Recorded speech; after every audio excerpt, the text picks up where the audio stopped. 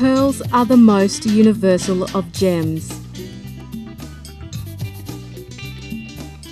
Drawn from the warm waters across the globe, these unique gems entrance people with their lustrous beauty. From time immemorial, societies all over the world have valued pearls. In ancient India and China, pearls were used to dress maharajas and emperors.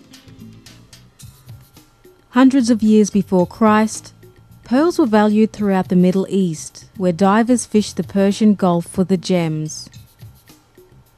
The explorer Marco Polo wrote of the pearl fishers in the Gulf of Mannar when he visited ancient Ceylon.